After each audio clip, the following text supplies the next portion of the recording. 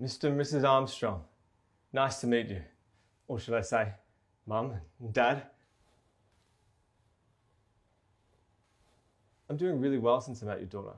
Tina! It's Tina. No, it's Tina. No, is it Tina? You have a really nice daughter.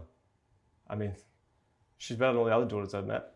I've watched every single Star Wars and Star Trek there's ever been. Would you like to watch it all? I've written a haiku, and it's about both of you.